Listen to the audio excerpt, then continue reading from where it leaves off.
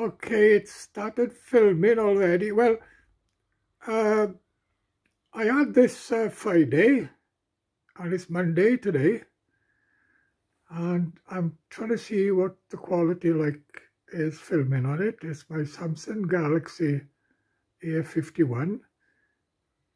The settings and everything is a lot like uh, a lot like the Samsung Galaxy uh, J31 I had.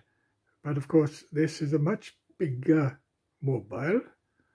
There's more stuff on it. There's a lot of little things on it uh, that I don't really need, but a lot of youngsters would probably want.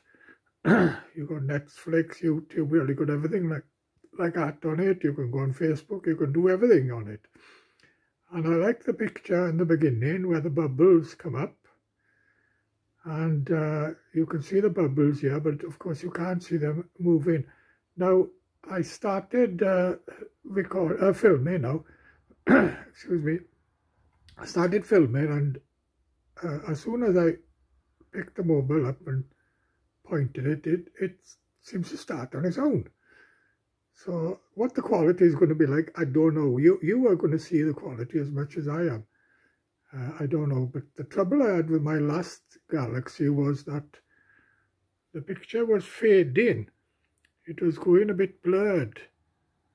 And hopefully that won't happen here. Well, that was happening when I was outside filming and if it was dark, you know. But I got no idea what it's going to be like here. And I'm filming now a picture of the Samsung Galaxy A51 that I've seen on online and I'm going to put it on now to see what it's like.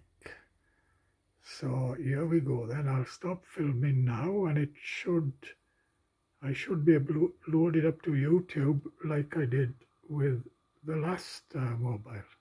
Okay.